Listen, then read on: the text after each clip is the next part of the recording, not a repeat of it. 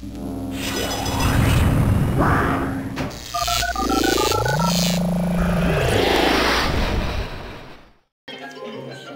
Samedi 9 août au soir, parmi bon nombre d'activités à Algrange, fut mis en place près de la salle Nelson Mandela un grand écran pour la projection du film Les temps modernes.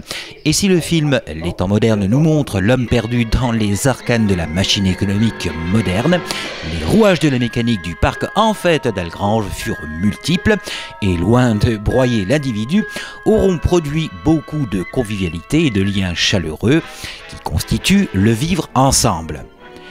Parmi les rouages de cette belle mécanique estivale algrangeoise, un pique-nique citoyen, du cinéma en plein air, des jeux dans une ambiance festive de kermesse, de la danse, de la musique, un bon repas et un spectacle interactif des plus originales.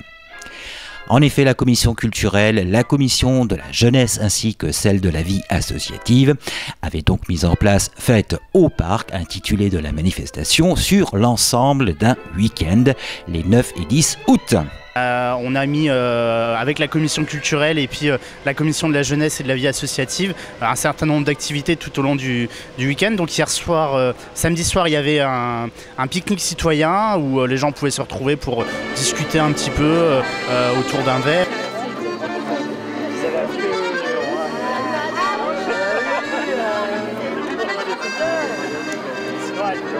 Et puis euh, ensuite euh, la projection d'un film en plein air, euh, Les temps modernes de Charlie Chaplin par la Sol Atelier.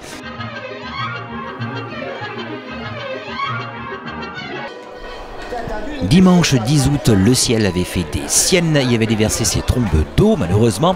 Le parc communautaire Sainte-Barbe a donc été délaissé pour le socio ainsi que la salle Nelson Mandela. On n'a pas eu de chance pour le temps, à cause du temps parce que toutes les activités là auraient dû être euh, à l'extérieur.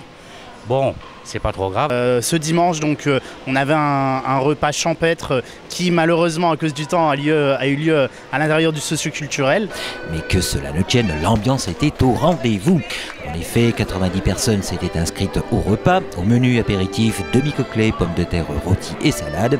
Et qui plus est, repas dansant, il y avait de l'ambiance. En tout cas, le soleil était au moins dans le cœur des nombreux participants. Après le socio Ambroise Croisa, direction salle Mandela. C'est néanmoins l'occasion de faire profiter de cette nouvelle salle Mandela. C'est comme une, salle multi-activité de 1000 mètres carrés et qui peut servir à beaucoup d'activités. Et en effet, la salle fut idéale pour accueillir les jeux pour les enfants, le spectacle du musicien comédien Gilles Pichois de la compagnie Capsule. Euh, ensuite, un spectacle pour enfants donc, euh, euh, avec une compagnie qui vient de Strasbourg et le spectacle NIMP qui fait de la musique avec des objets de, récupération.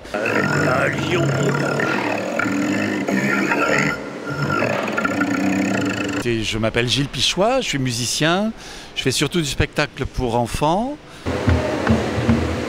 Alors le spectacle, c'est un spectacle qui s'appelle s'appelle NIMP, c'est-à-dire fait à partir d'un petit peu de n'importe quel matériau, des choses aussi simples que des boîtes de conserve, euh, des saladiers, des capsules de bouteilles, voilà, un instrument plus complexe que vous avez entendu tout à l'heure, le daxophone.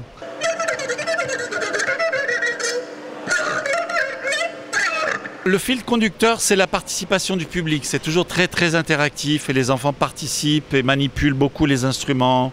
Je les fais danser, je fais participer le public beaucoup.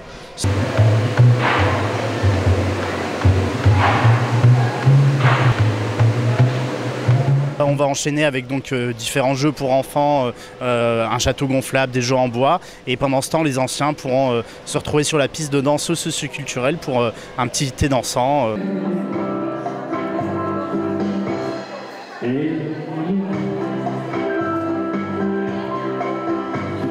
Pluie ou non, beau bilan que cette fête estivale algrangeoise qui aura mis du baume au cœur à plus d'un.